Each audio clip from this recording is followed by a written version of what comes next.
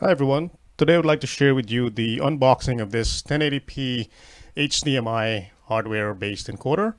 It's by URayTech, uh, model number UHE265-1L.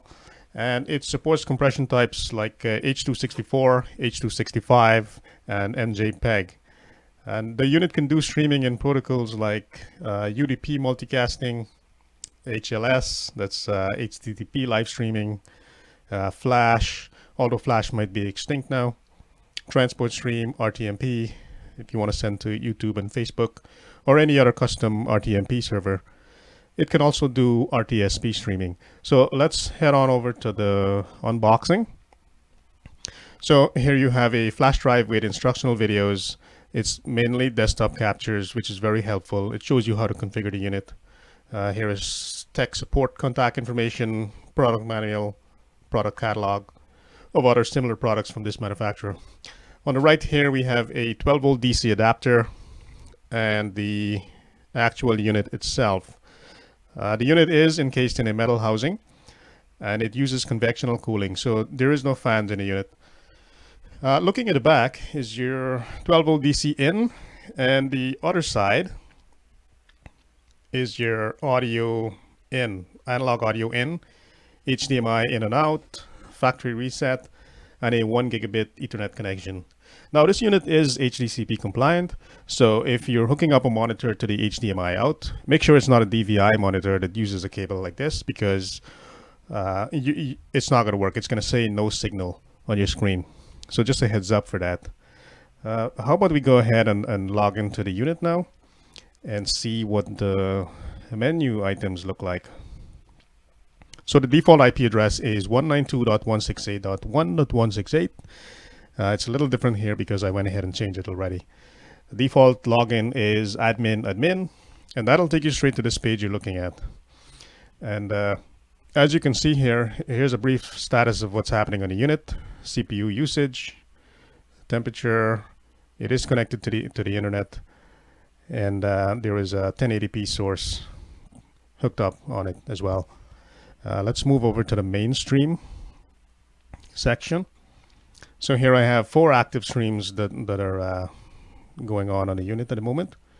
Transport, RTSP, uh, I have an RTMP going out to YouTube in a moment as well, and a multicast UDP stream.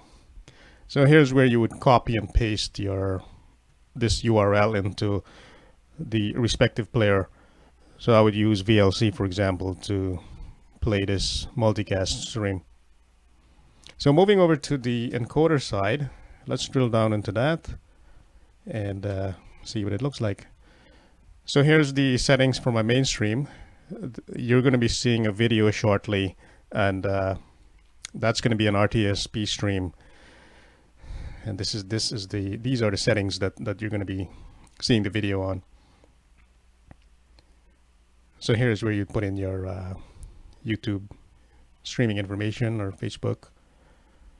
So let's move over to the other item, Substream 1. It's basically the same thing, but with uh, smaller resolutions as you go down. Uh, moving over to video, nothing much there. Audio, uh, you do have the ability to select either HDMI embedded audio or analog in. Unfortunately, you're not able to use both at the same time. Here's what the uh, sampling rate options are. Encoder options. And uh, moving over to the advanced section. Now, I don't think you would ever really need to touch this area. Let's head over to OSD. And uh, this is where you do your watermarking and so on. Here I'm using uh, zones 3 and 4 I have welcome to the 2020 conference as a text output, and I can position that text anywhere in the screen using this X and Y axis. And uh, moving over to zone four, you can upload a, a BMP image or PNG. And um, just, just make sure it follows this naming convention here. Any other name you give the, your files and uh, the unit wouldn't take it. It wouldn't display on your stream. And to control the transparency of, of uh, your watermarking, you would do that from up here. So the higher you go, uh, the the, the, less transparent the image is. Uh, let's move over to system. Here's your LAN settings, NTP. I went ahead and used an external NTP server because I, I, wanted the unit to pull the current time whenever it powers up, and I, I didn't want to have to worry about that. So uh, let's move over to the video section now. Uh, but before we do so, how about we talk a little bit about the streaming setup. So let's go back to the uh, YouTube setup here slide and pull that info up for you. So uh, with traditional software-based encoders, normally you would enter your URL, your streaming key, and so on. You would enter those in different boxes. But on this hardware, of course, you're doing everything in one. So what, what you would do here is, as you can see, this is your publishing URL over here. You would enter that first in the box, like so. And then you would append your streaming key to the tail end of that publishing URL. So, so just make sure that you have a forward slash separating your streaming key from your publishing URL. If you had to use a username and password in addition to a streaming key, then this is the format you would follow at the bottom here. So let's uh, let's move over to a to the YouTube actual YouTube uh, stream that I have running. Let me pull that screen up for you.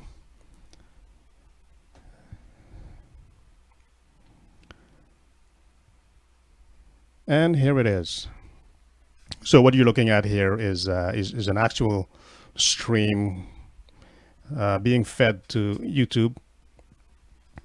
And that page I was I was showing you a few seconds ago, you can see that there. And there's about a 30 second uh, 30 second delay usually. So it took a while to change to uh, what you're looking at here right now. This uh, warning they're showing up here the stream's current bitrate uh, is lower than the recommended bitrate so uh, I, think this has to do with uh, the, the content you're setting so it's, it's nothing to alarm or be alarmed about it's just uh, depend. It depends on what you're sending at the time. It might be minimal data, and, and automatically you're going to get that uh, that warning. But it's it's nothing that uh, that's cause for concern. So how about we move over to like a side-by-side -side video now of what what the what a stream would look like from this box. So let's uh,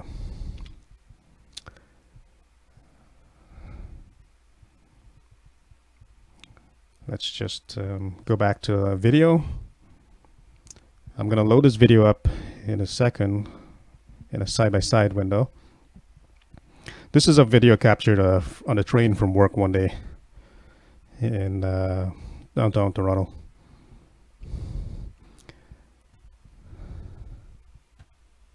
So let's pull up that uh, side-by-side -side window now. That that little uh, echo you heard is is the audio from the RS, RTSP stream.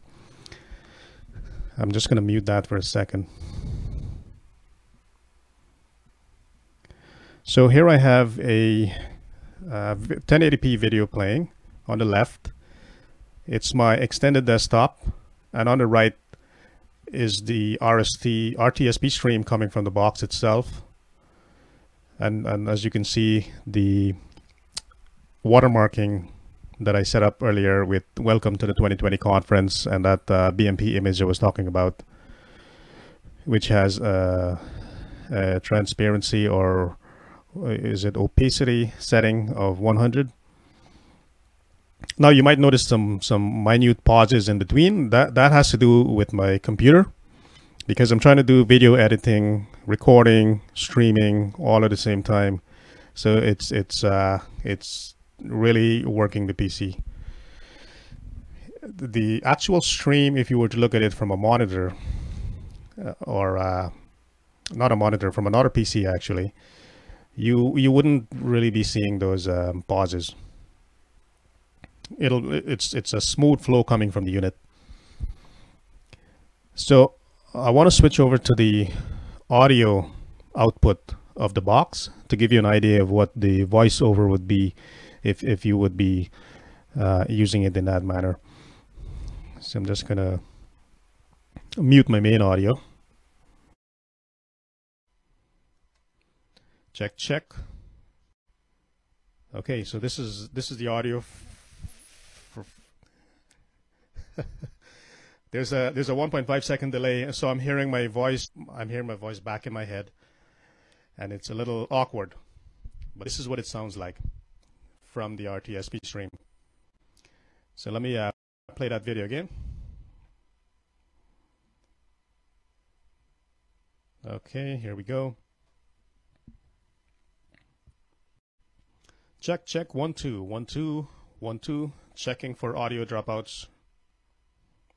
One, two, three, four, five, six, seven, eight, nine, ten.